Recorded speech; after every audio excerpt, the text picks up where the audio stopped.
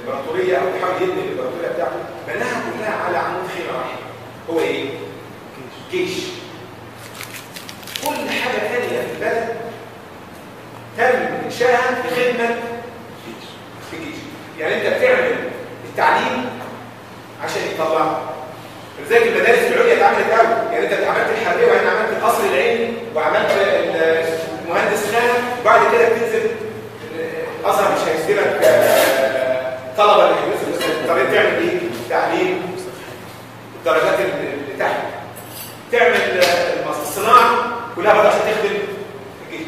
الاتصالات عشان الجيش. القصر وال- والطب وال- وده كله برضه عشان إيه؟ فبقت البنية قايمة. ان عمود خيمة. هو الجيش كل حاجة بتتم من أجل إيه؟ فلذلك أصبح التطابق ما بين الدولة وما بين ال- الجيش. آه، التجربة دي التجربة دي خلت التحديث مسيس مسيس يعني إيه؟ يعني اللي بيحدد أهدافه هو السياسي مشروع المفكر مشروع تابع للمشروع السياسي سواء كان محمد علي ورفاعة الخطاب أو كان وجابر عصر مشروع المثقف تابع لمشروع إيه؟ اللي بيحدد اهداف التحديث هو السياسي السياسي بتبقى اهدافه دايما إيه؟ الشيء العملي المباشر المحسوس الملموس فكل اهدافه من التحديث أهداف إيه؟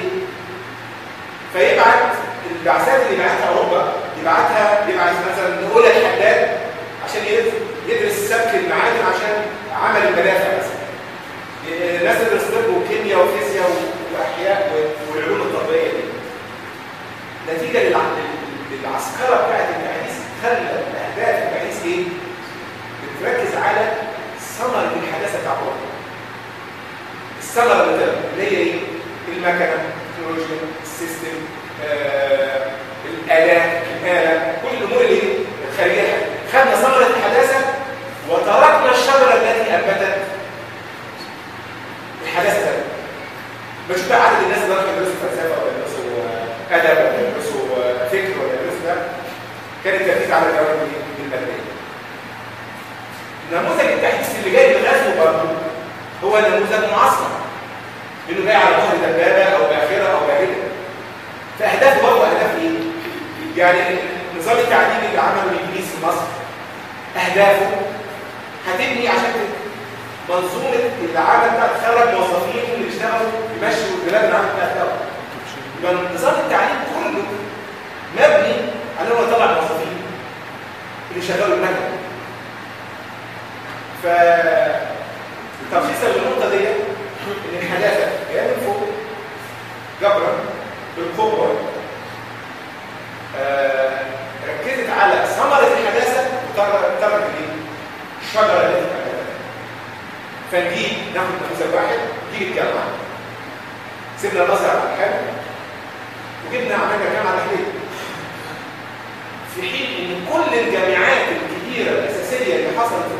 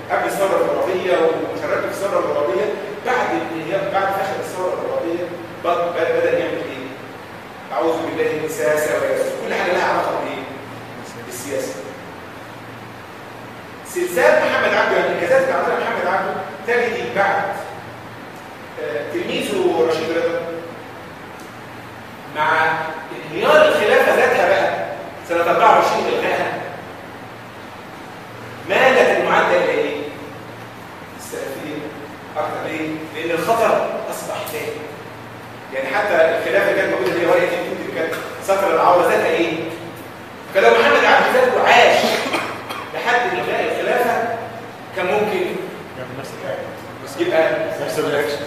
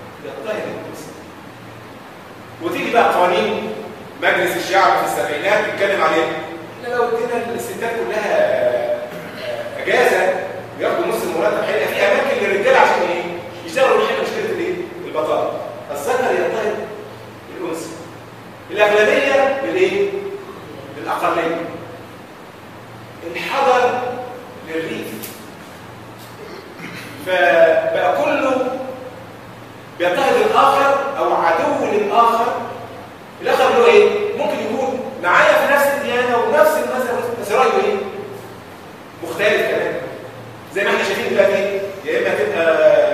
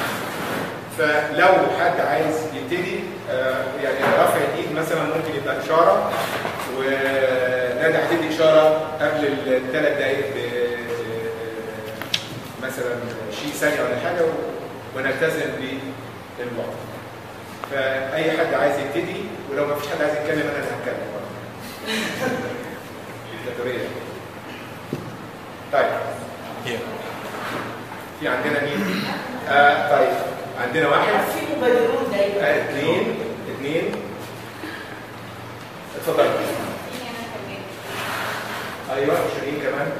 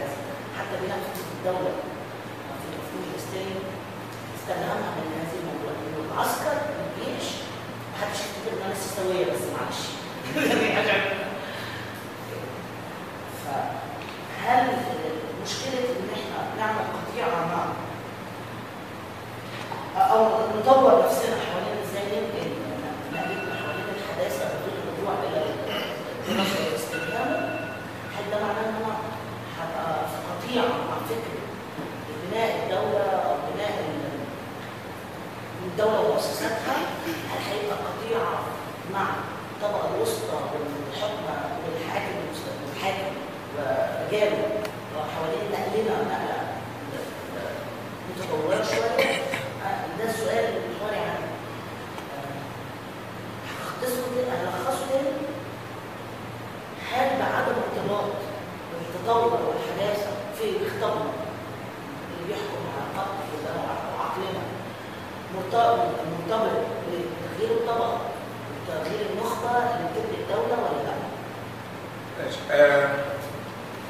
يعني أنا ممكن ألخص السؤال أو أصيغ السؤال آه طيب هنعمل إيه مع الدولة؟ إن هي تمت خلال ال 200 سنة دي هل الحل إن إحنا نهدم الدولة؟ يعني إيه المستقبل يعني هنعمل إيه مثلا؟ سؤال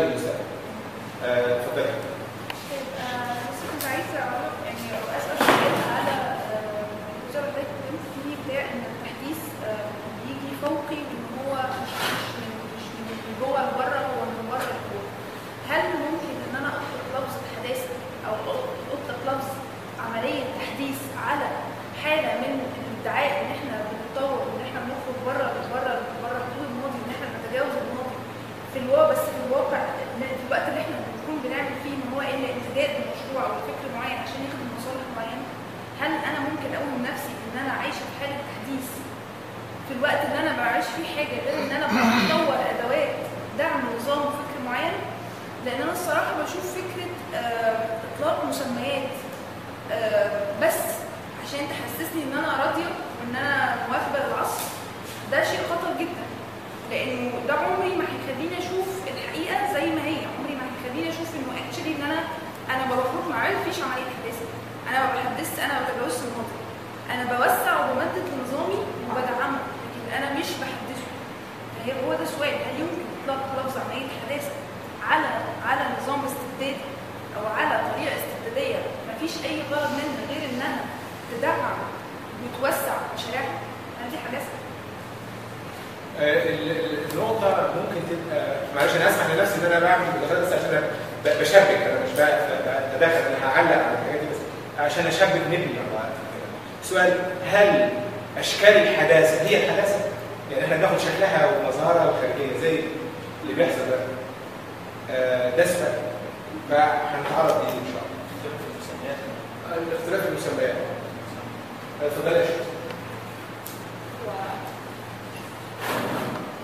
يعني أنا يا عن محمد عبد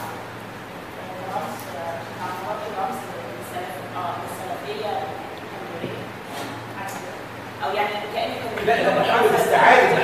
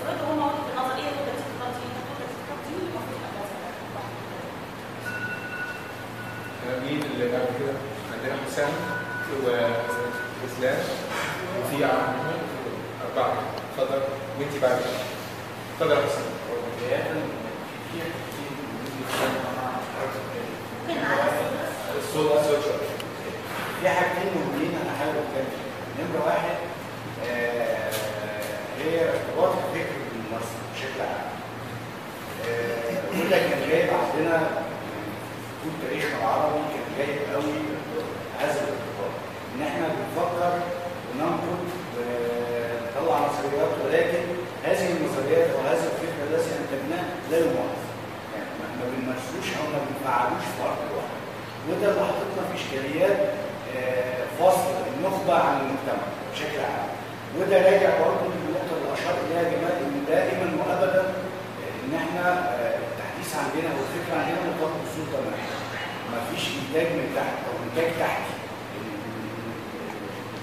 البشر من تحت مش بيفكروا لانهم مجموعة من ال- الشخوص مش بس مش بيعملوا بشكل مؤسسي آه، النقطة الثانية والمهمة إن أنا ضد فكرة آه، تجديد الخطاب. مفيش حاجة اسمها تجديد خطاب. هو الخطاب دين واحد. حاولت أجدد فأنا برجع للسجالية القديمة اللي هي عملها محمد عبده ورشيد رضا ومش عارف مين وبتاع إن أنا هاخد آه، هعمل عملية سجالية مع النصوص القديمة وهستوحي ما, ما تم إنجازه في فترات سابقة. كويس ومش بدعو لقطيعة معرفية برضه زي الناس ما بتقول إن أنا ارمي ال- التراث ده وأفكر بشكل. لا إحنا علينا ننقد هذا التراث ونشتغل عليه بشكل كويس. وإنتاج خطاب جديد مش إنتاج خطاب ديني جديد لا إنتاج خطاب جديد. إنتاج فكر جديد إنتاج أفكار جديدة من التراث الإنساني بشكل عام. لأن في فترة ما التراث العربي ده كان منير في بعض المناطق وعمل نقلة نوعية لدى اوروبا مثلا في مرحلة ما. عندنا المدرسة الإخوانية مثلا في الطب عندنا ابن سينا وعندنا ابن النفيس عندنا أسماء نقدر آه، عملت أو علمت أو نقلت العالم نقلة ما. ولكن ده في خلال سياقه التاريخي وسياقه الاجتماعي والثقافي. إحنا سياقنا محتاج إيه؟ وده اللي المفروض نشتغل عليه. إحنا دلوقتي حالا في اللحظة الراهنة دي محتاجين إيه؟ هل محتاجين نجدد الخطاب الديني أو محتاجين آه نفعل الأفكار الحكومية؟ لا كمل. يا ابني دي 30 ثانية. هو بس كلها هي وراك اتفضل 30 ثانية. لا إحنا محتاجين بس نفعل أفكارنا. نحاول نتحاور مع طلبه طلبه الجامعات والمدارس أو جيل جديد بس طيب يعني هي هي النقطتين هنا بالنسبة لعلاقة النخبة والمجتمع والاتصال بين سلوكها وبين أفعالها، النقطة الثانية هي يعني فكرة تجديد الخطاب الديني هي أساسا فكرة ليس لها قيمة. آه، محتاجين خطاب جديد. آه، آه، عندنا بعد كده إسلام وبعد منه عبد الرحمن وبعد كده هويدا وبعد كده ندى. اتفضل يا إسلام. أنا بس عايز أعرض النقطتين بشكل رئيسي النقطة الأولى فكرة المثقف وليه المثقف لازم ينحاز للسلطة وليه المثقف ممكن حتى ينتقل من كونه يساري ومعارض للسلطه إلى داعم أنا هعرض بس كذا مثال لو خدنا مثال المفكر هو صديقي شريف يونس إن هو ناقد للتاريخ بشكل جذري ناقد النصريه حاول يدخل في قلب النصرية وينقدها على أمل تجاوزها لكن لما حصلت الأزمة بتاعت الإخوان وجدنا شيء ينتقل من اليسار إلى اليمين الداعم تماما للسياسة. وهنا هو بياخد صفة أنا بسميها العلماناوي اللي هو العلماني اللي بينقد جانب واحد فقط. ولو الجانب ده خذله ينحاز للجانب الآخر على طول بشكل مباشر. يستوي معاه برضه نقد التراث. المفكر اللي بينقد التراث بشكل جذري ما بيقدرش غير إنه يكون يميني سياسيا في رأيي. لسبب واحد ان نقد التراث بشكل جذري ممكن يخليه يتجاوز ممكن يخليه أساسا يرى إن القطاع المعرفية هي الحل. في الحالتين دول هو ما يقدرش ينقد توجهات الدولة أو يبقى يساري ضد الدولة. ما ينفعش لأن الإنسان بيحتاج في لحظة من اللحظات أو على الدوام إنه يكون عنده مرجعية أو منطقة أمان خاصة بيه. مش هقدر انقل التراث نقد جذري أو انقل التاريخ نقد جذري. يونس أو في حاله مثلا عبد الله العربي اللي هو بيضع القطيعه المعرفيه وفي نفس الوقت هاجم الدولة ده انعكس بعد الثورات إزاي؟ أنا لمحت حتى عبد الله العربي بيقول لك إن الحل اللي جمال بيقول عليه في التجارب قد ييأس المثقف من مقاربه المثل ويلاقي إن شعبه بيخذله في لحظة من اللحظات. فتلاقي بقى العربي يقول لك إن الحل في التساكن شوف حتى اللفظ مش التجاور التساكن بين الديمقراطية وبين ما يسمى بالثيوقراطيه اللي هو الحكم الديني اللي هو بيفرض على الناس. طب والتساكن ده بيعمله ليه؟ شاف بعد الثورات إن بكل بساطة إن الشعوب غير قادره بسبب وعيها القاصر على إنها تقرر مصيرها بنفسها. ولما حاولنا نقرر مصيرنا بنفسنا كانت المنافسة. يا إما بين واحد جامع الدولة زي حالتنا إحنا لما خلصت المنافسة بين أحمد شفيق وبين حكم الإخوان. فدي نقطة مهمة. المثقف العلمانوي لازم يكون يميني. وكذلك نفس الفكرة دي بتطلع من مثقفين يساريين يعني المثقف السوري ياسين الحاج صالح هو المثقفين السوريين اليساريين المهمين يعني برضه بيقول لك إن الحل في التعامل مع الدولة في حاجة اسمها الكوزموبوليتانية الدينية. يعني برضه هنسكن الحكم الديني وهنسكن الحكم المدني حكم الدولة وحكم رجل الدولة وبرضه هتبقى العملية ماشية بالمنافسة. ومين يغلب على مين؟ ونحاول نعيش المجتمع على الوضع ده. طبعا هي الفكرة طبعا هتؤدي استقطاب في كل الأحوال ولكن ان المثقف يأس تماما والفكرة هنا برضه جاية من نقطة أنا هحاول النقطة الثانية فكرة إن فكرة الدين الواحد أو إن هناك تعريفا واحدا للدين.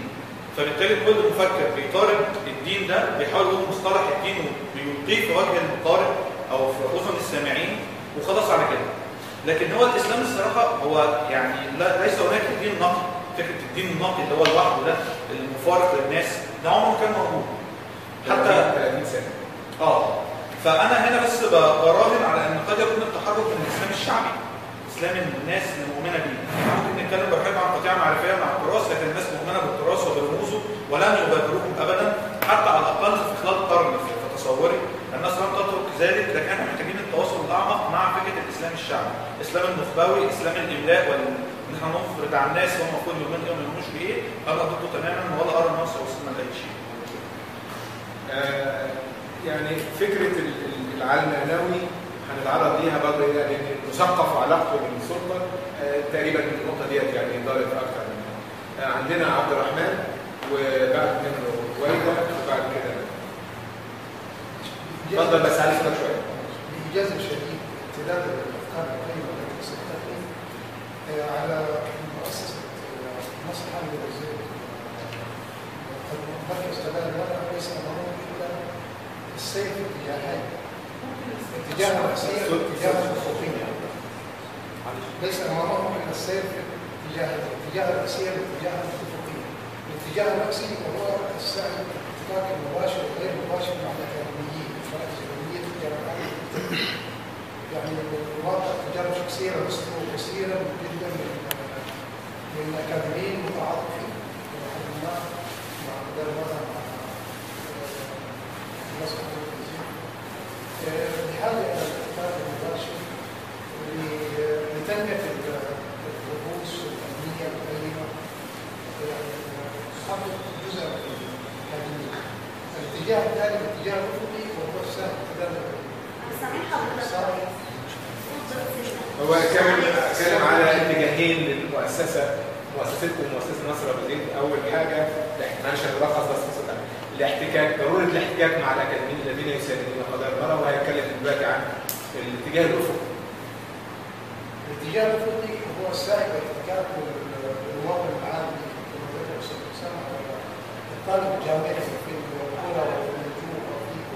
الجامعات المستوى شكرا آه، يعني هو الخص نقطتين. آه، ضرورة إن يبقى في نشاط رأسي بالاحتكاك مع المثقفين. لمساندة القضايا الجانب الافقي هو التعامل مع ال- ال- الاتجاه الافقي التعامل مع الناس ومع الطلاب على مستوى مختلف. آه، هويدا وبعد كده آه، اتفضل. أنا كنت بس عايزة أتكلم يعني عن ثلاث نقط اساسيه في حكاية ال gap بين الصفوة والمجتمع. آه، أول نقطة يعني تدهور التعليم فدي الفكر والثقافة يعني إحنا بنتكلم على ال context السياق اللي إحنا عايشين فيه شكله إيه؟ إنه في أنصاف متعلمين وفي جهلة كل يوم بيتخرجوا جامعات ما بيعرفوش يكتبوا كلمتين عربي أصلا علشان أي فكر يعني بنتكلم عن أي أجيال هتفهم الكلام ده أو هتهتم بالمشروع الحديث. النقطة الثانية انه للأسف انه في الت- التيارات كلها بقى ايا كان اسمها علماني ليبرالي اشتراكي اللي هم آه، غير إسلامي بيختزلوا الحريات مثلا في موضوع زي جواز الشذوذ مثلا كانوا مؤخرا مصاب لما اعتمد القانون ده أمريكا فبقى هو الوحيد اللي الناس بتناقشه وفي مصر. هو آه، يعني مدى قبولهم للفكر. طبعا ده يعني يعني أكيد ال- ال- ال- القصص دي في السياق اللي إحنا فيه ده يعني جنون. جنون. هو ترتيب الأولويات وبعدين بتباعد بينك وبين الناس بشكل رهيب. مش بتخليهم بس بعيد بتخليهم كمان ضدك الحاجة بقى الثالثه المهمه جدا إنه مثلا اختزال بقى الثقافة في إنه آه، واحد زي جابر عصفور لما يمسك وزاره الثقافة وأنا عارف إن هو عامل مشروع بس إن هو لما أول لما يتكلم عن تجسيد الأنبياء في الأفلام فالناس تسقف له حواليه وكأن المشكلة الوحيدة في مصر آه، هي إن أنت هتجسد الأنبياء في الأفلام ولا لأ. وإن أنت وضمان كمان غياب الرقابه هي الرقابه اوريدي غايبة بس غايبة عن إيه؟ الر- الرقابة غايبه عن آه، عن كل حاجة ما عدا الدخول في ال- في السياسة مهني في الدين. أي حاجة تانية اعمل اللي أنت عاوزه وده برضه مش صح. آه، بس هم دول اللي كانوا ندى وبعد كده حضرتك أنا كنت حابة بس يعني في كام نقطة؟ مين اللي هيحدد الوقت بتاعك؟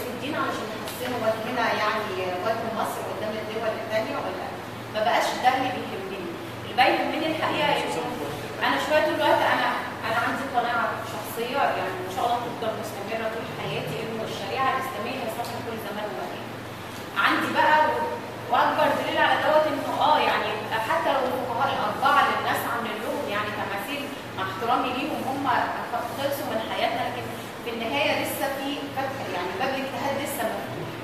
آه عندي 100000 حاجة بتقول إنه آه أعمل إيه كمان علشان أفضل مستمرة في حياتي وأنا كمان بستند للشريعه الاسلاميه.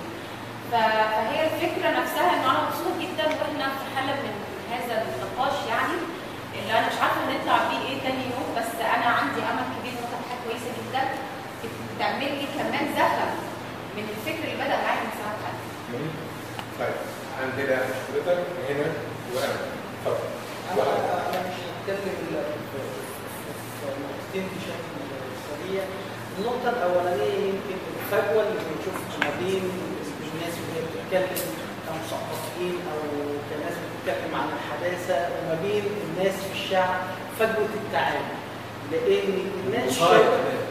الناس شايفة إن في تعامل زي ما أنت قلت في وصايا وإن إحنا ما بننطلقش من منطلق حقيقي وهو فقه الواقع اللي هو المشاكل اللي بتعاني منها الناس ونبتدي من خلال المشاكل دي نوصل للي إحنا بنفكر فيه أو عايزينه من خلال الحاجات اللي هم بيجابوها فبالتالي الناس تنضم علينا. مش الناس يبقى شايفانا جايين لهم بحاجات من فوق فيبعدوا عننا. لكن لو إحنا انطلقنا من فقه الواقع والحاجات اللي هم شايفينها واللي بتلمسهم واللي بيعانوها فده إحنا بناخدهم معانا ويضموا علينا ونقدر نغير ونجدد ونعمل تحديث في حاجات كتير ولكن طول ما إحنا بنتكلم من فوق بعيد عن مشاكلهم هم وعن الحاجات اللي بتمسهم هنلاقي فجوة كبيرة وهنلاقي إن السلطة بتستفاد أكتر من المنطلق ده إن لا دول بيتكلموا في كوكب ودول في كوكب تاني وهم بيفرضوا النظام أو الوصاية بتاعتهم اللي هم محتاجينها.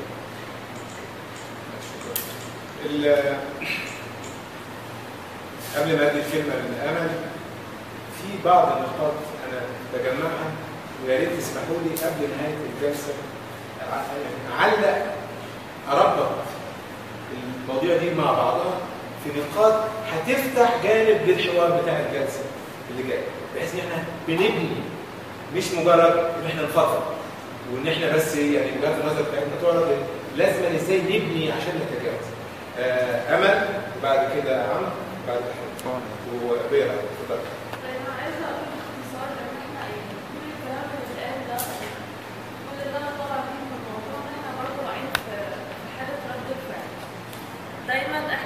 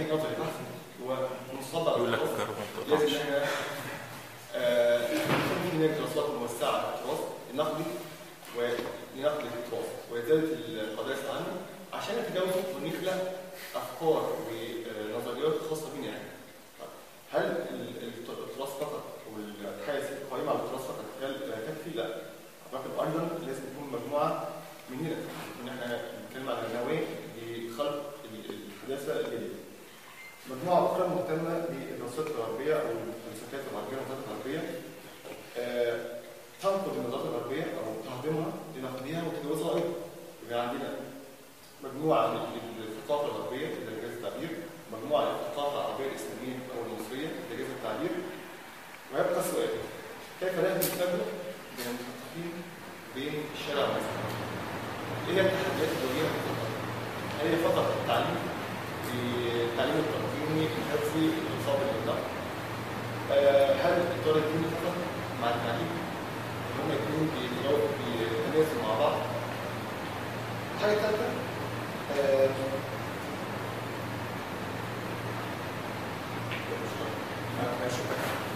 آه، النقطة النقطة النقاط دي كلها على فكرة مهمة وهنحتاج نتكلم فيها كتير يعني ممكن هنغير شوية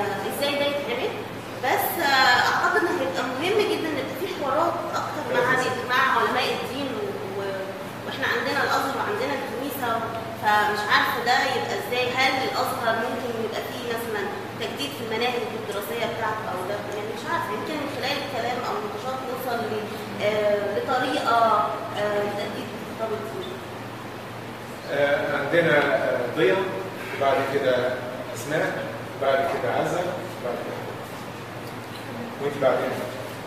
بس خدتي جولة قبل كده. استنى لا يعني لازم ما تجيش لا اتفضل.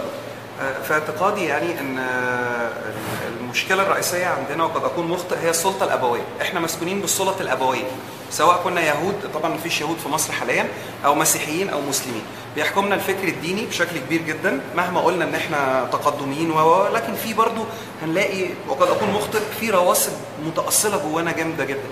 فأعتقد إن إحنا محتاجين نفكك السلط دي إن كانت سلطة دينية أو سلطة مجتمعية اللي هي السلطه الذكورية على الست أو سلطة آه، الأخ على أخته أو آه، مثلا الابن على أمه لما يبقى كبير.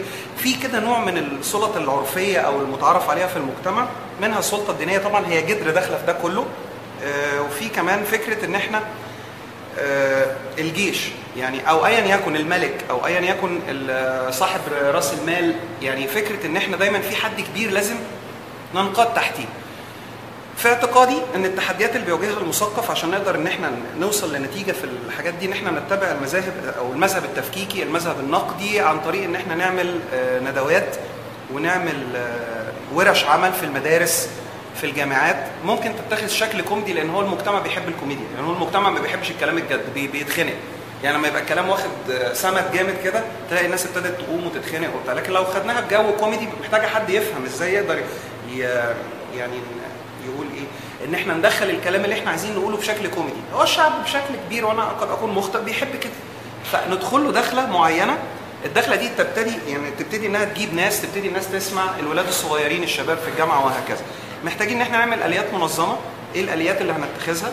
إيه المواضيع ال subjects اللي هنبتدي نعمل فيها نقد يعني؟ نقد التاريخ الأول لأنه مش مقدس قوي ونبتدي ندخل على الدراسات الدينية الكتب المقدسة الوحي الأنبياء وهكذا. لأن الحاجات دي أعتقد هي الكور وقد أكون مخطئ هي اللي عاملة مشكلة عند الوعي العربي. الوعي العربي دماغه جامدة حوالين المواضيع دي. في مناطق كده بتعمل كهرباء أول ما الإنسان يبتدي يقرب منها. وشايف إن هي دي سبب إن إحنا مش قادرين نطلع لقدام. كل شوية لازم نرجع نشوف النبي عليه الصلاة والسلام قال إيه أو المسيح قال إيه أو الكتاب المقدس قال إيه أو يعني يعني شكرا. بس شكرا. عفوا. آه، أسماء؟ وأنا عايزة أقول بس حاجتين. هو إيه المشكلة إن ننسى قطيعه مع الدراسة خلاص بما إن الواحد بقى له 200 سنة بن- بندرس. المشكلة؟ إيه المشكلة في إن إحنا خلاص نوصل لحالة القطيعة مع التراث ونبدأ من اللحظة الراهنة اللي إحنا فيها دي ونبتدي بقى نتجاوز اللي إحنا فيه ون- ونكمل لقدام بما إن إحنا بقالنا 200 سنة يعني بنرجع للتراث ونفضل واقفين عند نفس النقطة. النقطة الثانية إن برضو دي حاجة أنا ملاحظاها آه، مش بلوم حد يعني لأن أنا جزء برضو من ال- اللي أنا بتكلم فيه ده إن بقالي مثلا من 2011 وإحنا برضو بنحصل اللي بيحصل إن إحنا بنحضر نفس أنا عن نفسي مثلا بروح نفس المبادرات اللي بتحصل حاجات زي اللي إحنا فيها السنة دي السنة اللي فاتت نفس الحكاية. بنتكلم في نفس النقطة بتاعت إزاي هنتجاوز الفجوة اللي ما بيننا وما بين باقي الناس. وبرضه بنفضل عند نفس النقطة. وفي نفس الوقت بيبقى في ناس ثانية اوريدي الاخوان أو السلفيين أو ايا كان هم برضه متجاوزين النقطة دي وشغالين هم مستمرين وإحنا لسه واقفين عند نفس النقطة دي. أنا يمكن بتكلم من 2011 أنا ابتديت أحضر من 2011 آه بلاقي نفس الحكاية. دخلت في حاجات مختلفة يمكن دخلت في مبادرات مختلفة. كل حاجة منهم كانت بتبقى مسيسة لهدف ما ومتخفية تحت حاجة معينة. بس في الآخر هي بتحركنا برضه لاشكال ل- لوجهة لاجنده خاصه بينا. آه، فإمتى بقى هنتجاوز برضه المرحلة دي؟ أنا فاهمة إن محدش عنده الحل وإن إحنا هنحط الحل مع بعض بس حاسة إن إحنا إيه طولنا في المرحلة دي شوية. أو ما نحطش الحل. يعني ممكن نسعى نبقى نمشي في المشوار. آه عزة طيب صباح الخير أنا اسمع من الاخير لأن اسمي عزه سليمان رئيسه مؤسسه مركز شباب مصر. آه في نقط آه، هسيرها يعني آه، أنا متخيله كمان قال إيه يعني. وعرفت ال- ال- الحوار اللي داير آه، أنا في رأيي إن طول الوقت وإحنا في مصر آه، الوصول للمعرفة هي الاشتراك وفكرة الحرية إن إحنا يبقى عندنا access للمعلومات معلومات دينية معلومات سياسية إحنا مش عايزين يخلونا يبقى عندنا أي وعشان كده لما كنا حتى عندنا أمية قانونيه وهم عايزين يعملوا دوت ولما بدأنا كده في التسعينات نقول للستات يعني إيه دستور كانت بتوصف لنا فتح سور إن هو راضي هو ده. لأن أول ما هتوصلوا إن إحنا نعرف القانون هيتخضوا إن هنطالب بحقوق.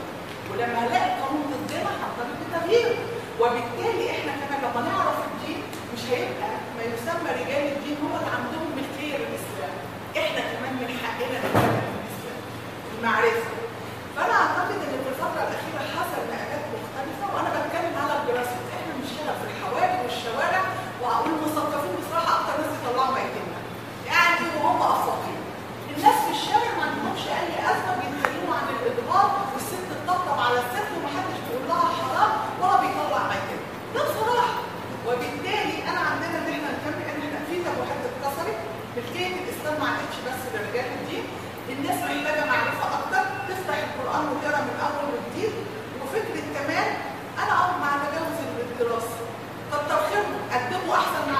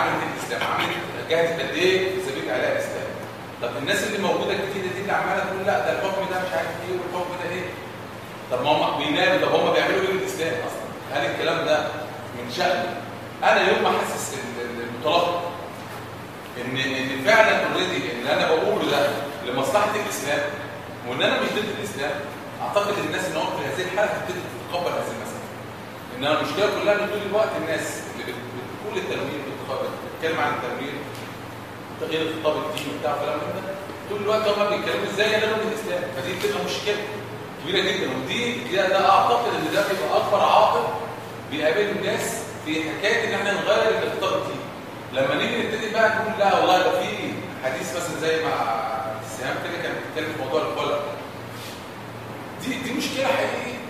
يعني فعلا كانت شغلة ال- المصريين كلهم من 8 9 سنين لما ابتدت تعمل قانون الخلق إن الناس أصلا كانت بتقرأ الآية القرآنية بشكل مختلف. بس لما ابتدت لما ابتدت الناس تشعر إن إن إن المسألة دي فعلا مفيدة للإسلام وبتحسن صوره الإسلام ابتدت تتقبل الخلق بشكل وابتدت تحس إن لا ده الإسلام فعلا فيه اوجه للعدالة. إحنا معظم المواطنين أو معظم الشعب مفتقدها فإحنا محتاجين النقطتين دول. إن أنا أحسس الشخص اللي هو بيتكلم عن تغيير الخطاب الديني إن هو لا ده, ده بي- بيعمل الكلام ده من أجل ال- الاعلاء الإسلام نفسه مش مش العكس. الحاجة الثانية إن إن هو بيبين وبيظهر الوجه المشرق للإسلام مش العكس. فلو قدرنا إن إحنا نعمل دمج بين هذين العنصرين أعتقد إن إحنا نوصل لنتائج هايلة جدا في تطوير الخطاب.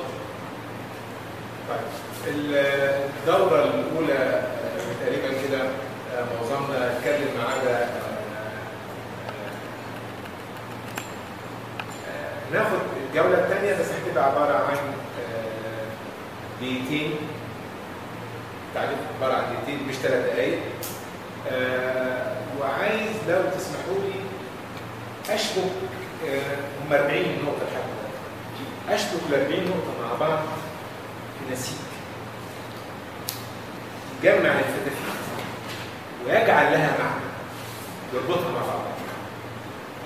في توب كل واحد ممكن يشيل فيه. اتفضل. دقيقتين هو أنا من- يعني من اتقال النقط اللي اثروها سواء من ناحية الفكر النقدي والفكر الشعبي أو الفكر الشعبي أو من ناحية إيه هي الآليات اللي ممكن نستخدمها بعد كده للوصول لل- لل- للطبقة اللي إحنا يعني إنجاز التعبير. بنعتبرها غير مثقفة أو غير متعلمة. هنا اكشلي ده بيصير عندي سؤال هو إحنا عايزين نعمل إيه؟ وأنا عندي فكر وشايفة إن هو ده الفكر الحديث والفكر اللي لازم الناس كلها تمشي عليه. وجاية أقول يا جماعة ده الفكر اللي إحنا لازم نفهمه لازم الطبقات اللي أنا بدعي أو بقول عليها معلش. لأن هي دي نفس النقطة اللي أثرتها ندى في البداية. تمام. أنا بس. أنا بس عشان عندي. لا عندي تخوف من نقطة معينة إنه بقى ال- ال- النخبة اللي بت- اللي بتقول على نفسها نخبة مثقفة بقت هي مصدر من مصادر فرض فرض فرض الحداثة. وأنا شايفة إنه مهم وإحنا بننطلق من وجود آليات إن إحنا نسأل إحنا عايزين نعمل إيه؟ وأنا جاية. أقول للناس إن في مساحة حرية ومساحة معرفة زي ما عزه كانت بتقول مساحة معرفة إن كلكم كل الناس تجادل وتعرف وفي الآخر هي عندها حق الاختيار. إنها تختار أي من ال من ال من المربعات اللي هي عايزة تقف فيها ولا أنا جاية عشان أنا عندي حاجة عايزة أخدها. ده السؤال. بعد السؤال ده أقدر أجاوب على نفسي أقول إيه الآليات اللي أنا حاسه آه، آه، في حد طلب هنا بسام اتفضلي دقيقتين يعني أنا اشتغل اتفقنا النهارده اتفقت زي مش فاهمه الحوار اللي حصل لو خلانا بصينا بصينا ل 2011 18 يوم ورا بعدها هيخلينا نبص انه ما كانش موجود قبل 2011 فكرة الأعداد والناس المختلفة والفكات اللي بتطلع ما تخافش. الناس اللي نزلت في الشارع القدرات عند الشباب شوية من العشرينات قد إيه كانوا فاعلين وقاعدين عمالين بيحاولوا يطوروا حاجات نفسهم يطلعوا ويرجعوا تاني وده بس بيخليني ان أنا طول الوقت ما, ما نيأسش ان الحوارات دي بتحصل آه لأن إحنا قدامنا شوية كتار في الحوارات بغض النظر كان الاهداف شوية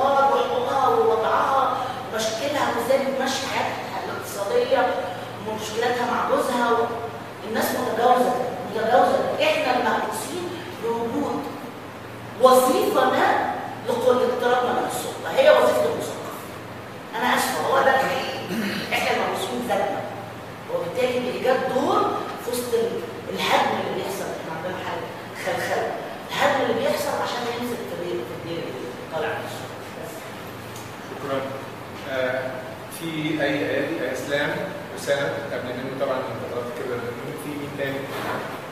عندنا حسام وندى طب اتفضل يا حسام. بس في نقطة مهمة جدا لازم ناخد بالنا إن في فرق بين إن أنا دافع عن الإسلام أو أتبنى دور مدافع عن الإسلام لأن الإسلام مش محتاج حد يدافع عنه. ده بعد أنا دوري إن أنا دافع عن الإنسان. مدافعتي عن الإنسان بدافع عن كل الأديان أو كل الثقافات أو كل المفاهيم ال- اللائقة بكل إنسان. دي لازم تضاف للاعتبار أنا مش عايز أجدد الخطاب الديني عشان أقول الاسلام أحسن حاجة في الكون. لا في في حاجات تانية كويسة في حاجات تانية جميلة جدا في الكون غير آه، اللي إحنا ورثناه من 1400 سنة. كويس. آه، الإسلام مش محتاج حد يدافع عنه خالص. دوري ان أنا دافع عن الانسان القرآن حتى اتكلم في ده وفي مجموعة من المتواترات قالت ده وفي بعض الحاجات مش هنخش في القضية دي بس عايز اكد على. مش دور تجديد الخطاب الديني إن هو يدافع عن الإسلام لأن الإسلام عنده ما يدافع آه، نمرة اثنين آه، في ظل ما أو السؤال المحوري من أين نبدا؟ إيه إيه المشكلة؟ هنبدأ منين بقى؟ أنا شايف إن إحنا ممكن نبدأ بان إحنا نهتم بغرس أو بنشر المنهج العلمي آه، لدى.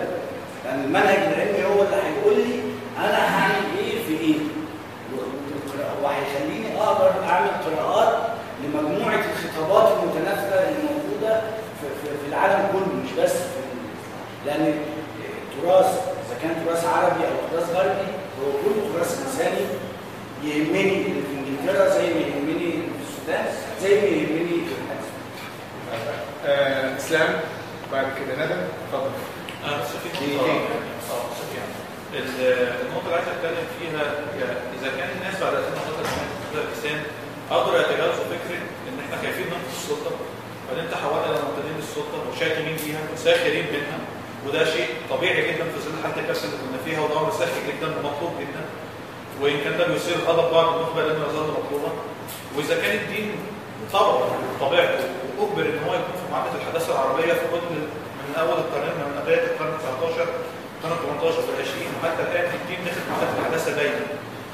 واذا كنا إحنا ضد فكرة إن النخبة بتقدم دين جديد، دين تنويري، دين مستنير بياخد بياخد بإيد المرأة ويطلع بيها، برضه لسه فكرة إن الدين أو النقد المخدوي هياخد المرة ويطلع بيها. مش لازم حد يطلع بيها. كل ده بيخلينا بس نطلب نطالب بحاجة واحدة أن يتحول الدين إلى موضوع ثقافي. إن وقتها موضوع ثقافي موضوع قابل للنقاش. يعني زي ما باخد رأي الناس كده في السيسي وفي السياسات وإن كان الناس ينقصهم المعرفه الحق بالسياسة أو ما عندهمش خلفية معرفية سياسية الا إن كل إنسان لو شعر إنه بيقول رأيه وإن رأيه بيتسمع وإن في ناس بتنصت له البني آدم ده هيبدأ يتخلى عن فكرة لازم يطمن لما يكون صوته من صوت المجنون. لو تجرأ الناس على النقاش الدين على القهاوي زي ما الناس السياسة دلوقتي اظن تبقى دي خطوه كبيره جدا هتخلي المثقف بقى العربي يعيد التفكير تاني في فكرته النخبويه وان هو عالي وهتخلي البني آدم انت بتسمع رايه زي فكره الاسلام الشعبي كنت بقول لك من شوية ان لما واحد يتكلم يتناقش معاه حتى في اي مكان هتلاقيه بيقول رايه مخالف مثلا الازهر لما هو يقول رايه ويشعر انه قال رايه هو هتلاقيه بيرتبط من الازهر بيخالف الموضوع ده هيقول لك أيوه طبعا يخالف أنا رايي وهنا راي اخر فانا بس بقول على ضروره تحويل الدين إلى موضوع ثقافي. والله يظل ذو سلطه على الناس ومخيف شكرا. آه، طيب. محمد؟ أنا عايز أتكلم بس في الجزئيه الأولى. هختم من عند الاستاذ إسلام قال إحنا قاعدين بنتكلم المفكرين والناس النخبه والشعب في الحقيقة هو إحنا الناس وإحنا الشعب. وإحنا لو اتكلمنا في الدين على القهوة ولو قلنا رأينا في الدين على القهوة فهو تحول من القعدة دي القعدة اللي إحنا قاعدينها دي جت للشارع already. لأن إحنا الشارع إحنا جزء من الشارع. ال- جزئية إن الشارع أصلا متجاوز حاجات كتيرة وإحنا حاطين عقده آه، في جزئية عايز انوه عليها. إن إحنا الدولة من زمان هي بتستعمل الدين كأداة والنهاردة بتستعمل الدين كأداة. وحديثنا النهارده خايف إن إحنا نكون بنستعمل الدين برضه كأداة بإن إحنا عايزين ننتج نسخة ملقحه من الدين أو نسخة جميلة ف... فإحنا لو وقعنا في نفس الإشكالية دي فإن إحنا في نفس المعركة من زمان من 60 لا من 60 سنة هم بيستعملوا الدين كأداة والمعارضه بتستعمله كأداة وإحنا النهارده عايزين نستعمل الدين في إن إحنا ننتج شكل جديد من الدين وهو برضه أصبح كأداة. إيه برضه جزئية إن إحنا المؤتمر اللي فات كان ان النخبه محصوره في اوضه وعايزة تفكر بعيد عن الشارع بس لو إحنا فكرنا إحنا إيه؟ إحنا لو إحنا الشارع لو إحنا قلنا رأينا زي ما الشارع بيشوفه ونقلنا اطروحتنا اللي هي طالعه من الشارع. فاحنا هنخرج بره فكرة النخبه وبره فكرة إن إحنا قاعدين في أوضة مغلقه وعايزين إيه، نوصل رأينا للشارع. لا قدام كده لا. طيب.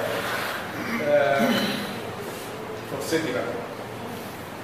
آه، ندى آه نسيتك لا اتفضل. أنا بس برضه عايزة القدسيه فكره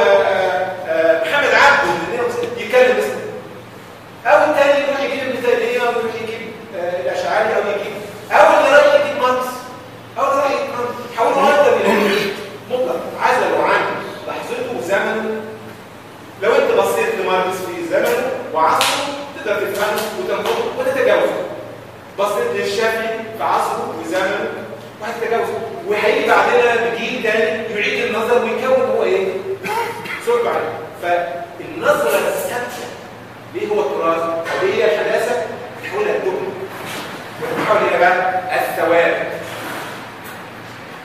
كل واحد بيبني الثواب ده بتبنيها باسم الدين ممكن باسم المذهب باسم الطائفة باسم الأمن القومي باسم التدين باسم المدرسية برضه كان ممكن يبقى في واحد بيحصل له تكفير. بانه يعني يعني عبر نصوص فلان ونصوص فلان.